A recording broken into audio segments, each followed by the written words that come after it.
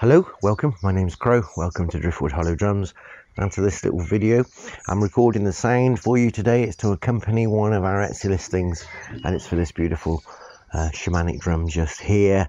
This is a deer skin shamanic drum. It's on an 18 inch frame that, which is made from willow, willow wood. On the back here we have a lovely branch handle and it's laced with artificial sinew.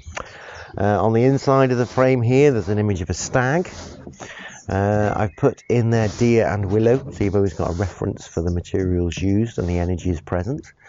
Uh, and also birthed on the 3rd of June 2023, Knighton Powys UK, along with my maker's mark.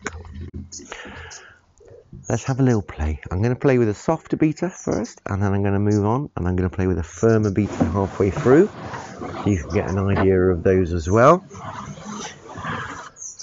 Here we go.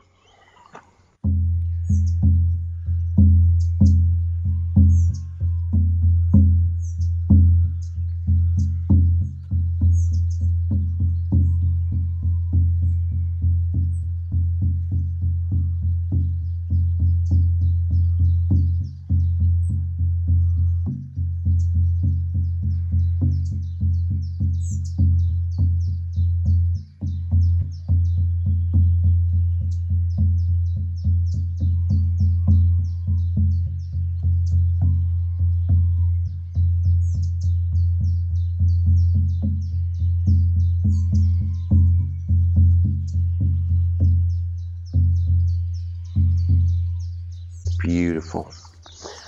And then a beater.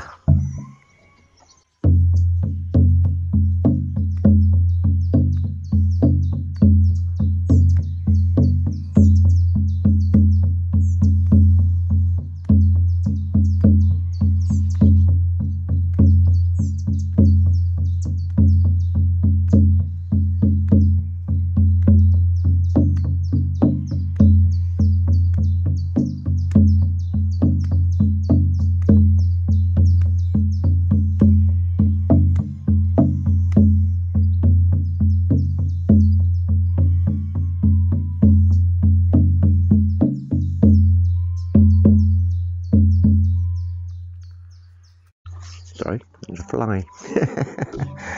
Alright then, so I hope that video helps you to make a more informed decision when you're coming to choose your drum online. Just to uh, throw a little bit of thing in here, this is quite a thick deer skin. Uh, and as you can tell, it's got a beautiful, rich, deep, thick sound.